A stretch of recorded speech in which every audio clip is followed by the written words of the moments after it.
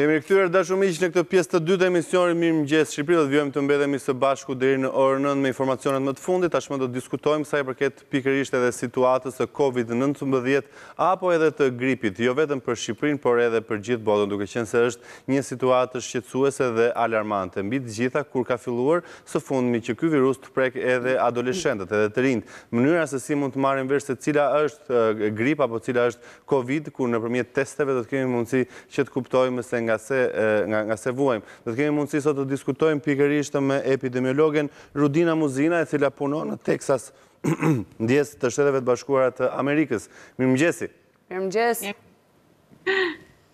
Doktoresh, si paraqitet situata aktualisht në Shtetet e Bashkuara të Amerikës sa i përket edhe varianteve apo nënvarianteve të Covid? A është ai më i rrezikshëm se më parë?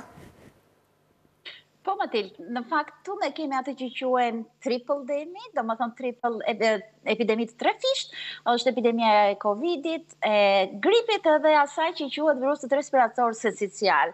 Siç e dimë të gjitha viruset janë në fakt, si të thuash, ata luftojnë për mbijetesë, luftojnë kush të jetë, të themi, gjithmonë në jetën njerëzore, ai më i adaptuar e fiton. Ne kishim valën e parë të virusit respirator sincicial, kaloi pastaj me gripin, u ul pak disi kurba, Edhe tani e shikojmë kurbën e lartë me virusin ose nënvariantin e ri që ju e keni dëgjuar dhe flitet shumë edhe në Shqipëri me atë emrin misterioz Kraken. Për sa i përket gjendjes apo situatës, ne shikojmë variantin e ri edhe unë gjithmonë ja zakonisht flas edhe me pacientët e mi në spital sepse puna ime është specialiste e sëmundjeve infektive edhe epidemi Loge, unë gjithmonë flas dhe për herë të parë, rëndësinë e këtij virusi, ne për herë të parë në gjithë historinë e Covidit, pamë një virus të tillë i cili nuk ishte më një nënvariant, nënvariant po, po ishte një rikombinim, një fuzion, një ngjitje e dy nënvarianteve të Omikronit.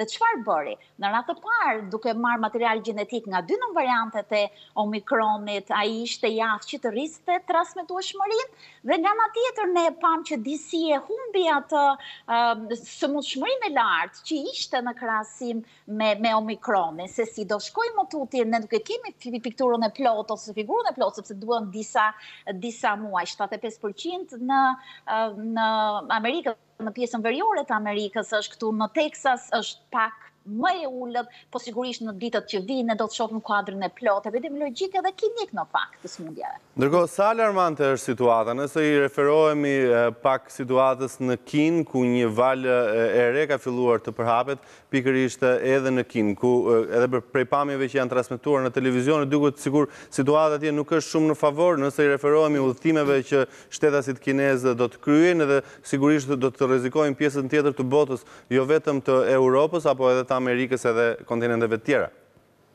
Po, një pyetje shumë e mirë në fakt që e bëjmë dhe ne këtu, mbase ju i keni dëgjuar, ne menjëherë bëjnë universitet, ne menjëherë na ndaluan konferencat edhe udhëtimet në Kinë, siç e Shtetet e Bashkuara të Amerikës, jo vetëm për Kinën, por dhe për zonat përreth, në fakt, kanë vendosur atë testimin e tyre shumë të famshëm, siç e keni ditur edhe përpara ju në Europë kur udhtoni. Dhe pse ishte kjo? Jo në fakt për të thënë që kemi frikë që ky virus mund të vijë këtu, sepse ne kemi plot Covid edhe këtu. Po ishte një par, periudhë dhe unë e përsëris atë, ajo që quhet periudha buffer, domethënë periudha e pritjes. Ne duhet të shikojmë kush është ky si shkon dhe nëse kemi mundësi ne mund të adoptojmë vaksinat apo mjetet tona terapeutike për ta. Për sa i përket Kinës unë prapë të them që hë për hë me të dhënat, sepse tashmë ne kemi një, një bankë të madhe gjenetike që është ndërkombëtare, GISAID quhet, kur secili nga shtetet nga vendet depoziton materialin gjenetik të virusit që qarkullon në vendin e tyre dhe po shikohet që është një BA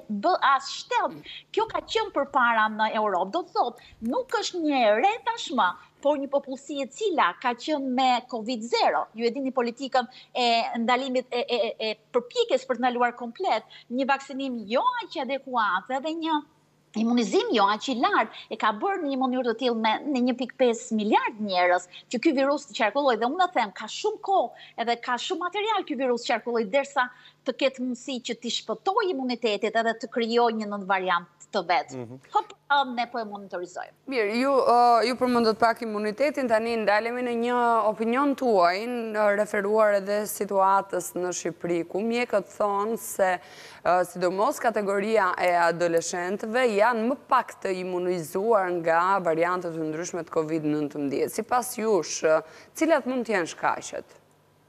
Edhe Matilda është pyetje shumë e mirë sepse gjithmonë e themi ne opinionet i mbajmë për vete, po në mjekësi në faktet tona. Unë në fakt nuk e kam dëgjuar këtë, unë e di në fakt që uh, adoleshentët edhe kudo, si, si kudo, edhe këtu dhe atje në fakt u vaksinuan në një në një nivel pak më të ulët se sa të tjerët mm -hmm. dhe mhm. sigurisht e kaluan më lehtë një sistem imunitar i cili është më i ri, i cili mund ta luftojë më lehtë, ne pam që kjo ishte grupmosha e cila nuk pati ato problemet e mëdha. Sigurisht në ata fëmijë apo adoleshentë që u prek, është ajo virusi MIS-C ose multi simptom sindrom e cila dha edhe prekje të miokardit dhe prekje të të muskulit të zemrës, ishte e rëndë, po në përgjithësi nuk kaloi aq aq e rëndë. Dhe si duhet të sillemi në fakt nëse referohemi edhe adoleshentëve në rast se janë të infektuar me një nga nënvariantet e Covid nëntëmbëdhjetë, si do të ishte më mirë, të kryejnë teste dhe të zbatojnë pjesën e karantinës, apo ta lëmë të lirë virusin të qarkullojë edhe mes grupmoshave të tjera për të pasur kështu një lloj imuniteti më të mirë? Unë nuk jam për atë dhe kam shtyrë fort në fakt, Lori, edhe përpara, që të mund të mos lihej. Gjithmonë e them, si, si kur je në një fakt në një ndeshje boksi, ti nuk e merr atë knockoutin, sepse e merr, ti mhm. duhet të luftosh kështu që një testim është më i mirë. Edhe ne e pamë, edhe gjatë tre vjetëve të kaluara, këtu në Evropë, në, në, në Shqipëri sigurisht, të rinjtë ishin ata që në fakt ishin asimptomatikë dhe kjo ishte karakteristikë e kësaj smundje. Mund të shkojë 5, 6, 7 ditë pa e shfaqur smundjen, ti ndërkohë je në kontakt me të tjerë, ti ndërkohë e kalon virusin. Mhm. Ndërsa të tjera, të, edhe gripi e shikojmë, të fut në krevat, të fut mhm në mhm shtrat, Ti s'do e ke më të kufizuar, sigurisht testimi është kryesor, sigurisht edhe unë e them, ne kemi qejf në fakt shqiptarët, jemi pak afër me njëri tjetrin, po kur je smur mendo për vete, mendo për edhe ata që ke rreth e rrotull, të ruash veten, të ruash dhe tjerët. Po, mirë, mirë, dakord, ne kemi qejfin të jemi afër, po kur jemi të smur, sidomos kur fëmijët janë të sëmurë dhe duan të përkëdhelen më shumë, edhe për shkak të gjendjes shëndetësore që kanë, Duan që t'i përqafosh, si të bëjmë ne, si t'i themi ne jo? Jo, ti nuk e... Se do ruaj vetën. Jo, thua me një maskë sigurisht, sepse ju mund ta shikoni qartë edhe edhe virusi i gripit tani dhe virusi respirator sincial dhe pediatritë dhe spitalet që janë në fakt mbushur me vizita ambulatore, është Pikërisht kjo moshë shkollore. Pse? Sepse kryesisht virusi kalon me spërkla. Nuk është më tepër kontakti, prekja e materialeve, tavolinës, ajo është pothuaj dytësore. Kryesorja janë ato spërklat, është bashkëbisedime direkte. Dhe ku ka më mirë një virus të përhapet, unë e them edhe vajzës time, ajo është në universitet. Ju studentët, edhe fëmijët e vegjël në kopshte, në shkolla, janë në fakt ato vende ku virusi pëlqen më shumë për t'u zhvilluar, për të për të kaluar më shumë tek njëri tjetri dhe pastaj kur i sjellin në shtëpi te prindërit e gjyshërit e gjyshet, është mënyra më e lehtë për të kaluar. Në fakt ju zonja Muzina e prekët pak më parë të qenit shqiptar dhe në momentin që ne u përballëm me pandeminë na bëri përshtypje shumë edhe mbajtja e maskës. Si si shqiptar nuk e kishim provuar kurrë që të qarkullonim me një maskë, ndryshe nga vendet e tjera ndoshta ku mund të ketë qenë Një formë kjo për të lëvizur nëpër qytet për të parandaluar një lloj virusi dhe na dukej gati gati e pabesueshme që po e mbanim. Por nëse i referohemi edhe një gripi të thjeshtë, ju si mjeke imunologe e sugjeroni mbajtjen e maskës në ambiente të mbyllura edhe nëse kemi një virus fare të thjeshtë? Në fakt neve siç themi edhe ishte është shumë interesante që e sjell sepse nuk ishte atje ishte edhe në Teksas. Teksas, teksanët janë pak konservativë. Mua flet me maskë unë shkoja për shembull për të marrë një, një, një drekë apo një darkë dhe ata të shikonin me çudi. Ka mhm. pas mm -hmm. në fakt edhe një luftë e madhe kundër uh, establishmentit, kundër qeverisë, kundër atyre që ju na tregoni të bënim këtë, po pse? Dhe në periudhën e pasigurisë kjo ishte një diçka në formë revolte. Shtoj pastaj që ne shqiptarët edhe s'i përfillim shumë rregullat, mm -hmm. edhe jemi kryeneç sigurisht unë e them, ti qëndron afër me dikë, më shumë se 15 minuta, ne gjithmonë themi, më shumë se 15 minuta, më shumë se zgje një zgjatje dore, ti je i sëmurë, ti duhet të paktën të kesh një mundësi për ta parandaluar, një barrierë për ta parandaluar këtë. Unë mund të them edhe ne gjithmonë e themi, kultura aziatike kishte maskën. Ti shikoni Flori, kudo mm -hmm. ku është, në mm -hmm për ne ishte shumë e vështirë. Ne mund të themi mbaj maskën gjithë ditën dhe gjithë natën, në qoftë se ti nuk je i bindur që që kjo duhet bërë për shëndetin tënd, për shëndetin atyre që është rreth rrotull, atëherë na mbetet vetëm të flasim, po sigurisht patjetër, mbani distancën, nëse jeni vende të grumbulluara, unë e them dhe këtë tjetrën, kur janë vende të grumbulluara, kur pin kafe, Tirana është e bukur, më mirë në një vend të hapur. Ne pamë këtu dhe pamë studime të fuqishme që brenda një vendi të të mbyllur brenda një klase, përqindja ose e dioksidit karbonit ishte më e lartë. Nga ajo ne bëmë research, punë kërkimore shkencore dhe pamë që aty Covidi sasia Covidi ishte më e lartë. Një ventilim i mirë të ndihmon edhe për të qarkulluar më mirë ajrin. Mirë, tani doktor Esha, jo për të hedhur baltë apo për të dekonspiruar Edhe gjithë çfarë janë diskutuar në fakt përgjatë këtyre tre viteve në raport me Covid nëntëmbëdhjetë, por ama unë do të doja të ndalesha në një moment tjetër. Sigurisht që në në fillim të nisjes së së këtij virusi, informacionet ishin tejet të pakta dhe të gjithë ishim në dilema të komportit që do të duhet të kishim në raport me mbrojtjen tonë. U trumbetua kaq shumë vendosja e maskës, distancimi, sepse këto do të ishin masa të cilat do ta zbehnin, po themi, transmetueshmërinë. Më pas, ne e dimë edhe dilemat edhe përplasjet edhe në debate apo kundërshti sa i përket edhe mbërritjes së vaksinave. U tha në fillim në mbërritjen e vaksinave se ajo do të ishte mburoja kryesore se pas të cilës nuk do të kishte më infektime. Në fakt, ndryshe ndodhi, sërish vaksina nuk mbronte njëqind për qind, por dolën teori mjekësore të tjera se të kapte në një formë më të lehtë etj etj.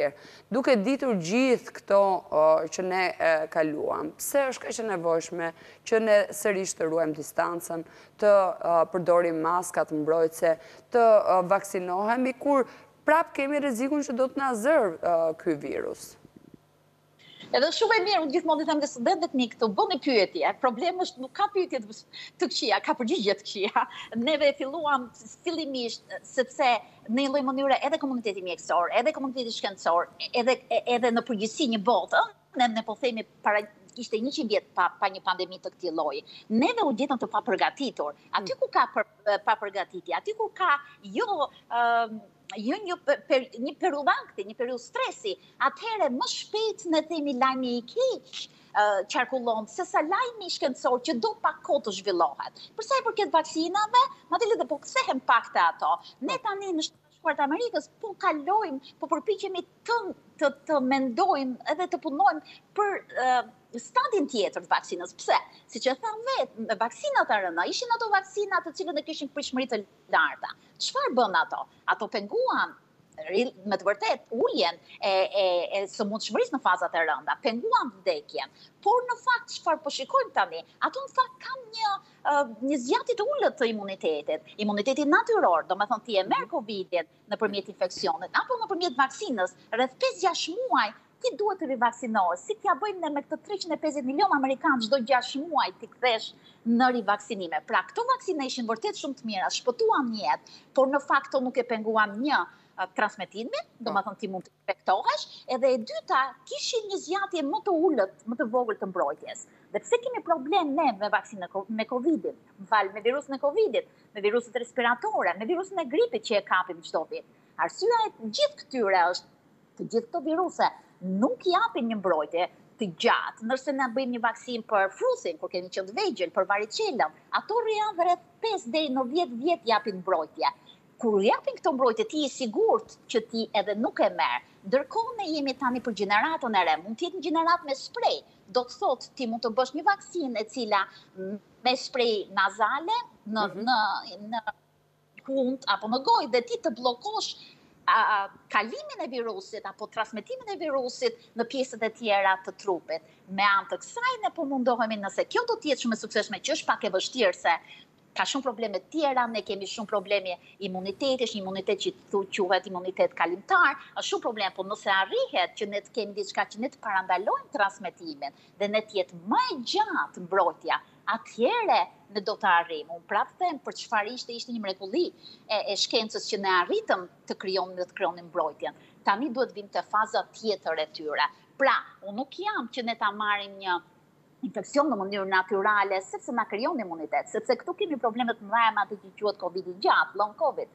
mbasi ju e keni dëgjuar, probleme me memorien, probleme kardiovaskulare, probleme neurologjike, të gjitha këto që po jepen grante të mëdha deri miliarda miliarda sepse njerëzit janë në fakt të sëmurë pasi kanë kaluar Covid-in një vit apo dy vjet e tjera. Pra është një periudhë handikapi, jo për të frikësuar, Po për të pasur që çdo unë gjithmonë e them, çdo reinfeksion, ty të jep një knockout, ty të jep një goditje. Ti duhet më mirë ta parandalosh, ti duhet më mirë ta ta luft, se sa ta luftosh ose se sa ta trajtosh, si mm -hmm. Në fakt zonja Muzina bashk. Kemi hyrë pothuajse në vitin e tretë që nga momenti që u shfaq COVID-19 dhe gjithë bota u përball pikërisht me të ashtuquajturën karantinë. Mezi prisnim në fakt t'i vinte fundi kësaj historie, para pak muajsh u deklarua edhe fundi i pandemisë, megjithatë duket sikur asgjë nuk ka marrë fund përfundimisht nëse i referohemi edhe nënvarianteve të reja. Kur do të flasim për një mbyllje të kësaj të këtij kapitulli, të kësaj historie, pra kur mund ta cilësojmë që Covid nëntëmbëdhjetë nuk do të jetë më një pandemi, por do të kalojë në një grip të thjeshtë?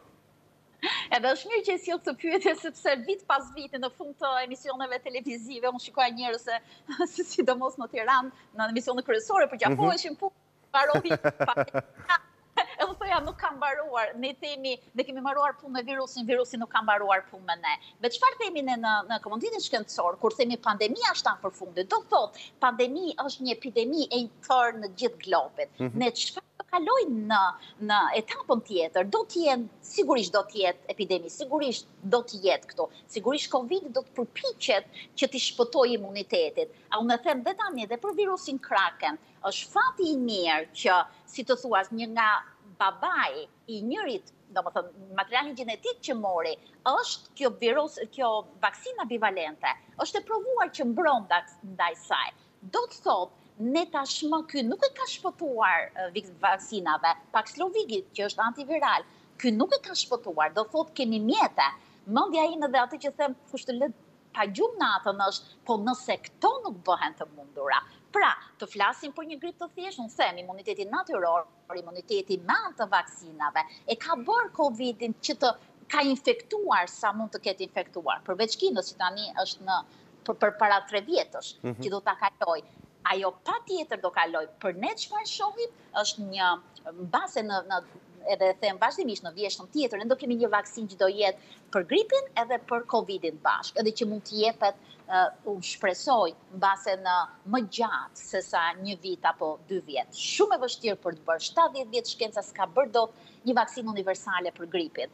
Sepse kaq i vështirë është ky virus dhe viruset e tjera respiratore, viruset e tjera të stinës, ato ndryshojnë shumë shpejt, ti e bën një diçka, materiali gjenetik ka ndryshuar, nuk është më e vlefshme. Kështu që është një punë në vazhdim. Detyrimisht nuk është pandemi, do kalojë pak më, si të thuash, normalizohemi dhe ne do jetojmë me atë, po sigurisht ne do duajmë një zgjidhje në fakt. Dhe akoma është duke punuar për të.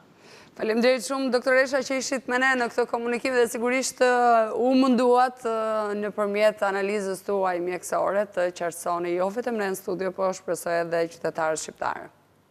Faleminderit shumë. Faleminderit. Faleminderit shumë që ishit me ne. Sigurisht ju urojmë suksese në punën tuaj dhe do të mbetemi në kontakt herë pas here me çdo pikëpyetje që do duhet të zgjidhim. Patjetër, kënaqësia ime. Gjithashtu.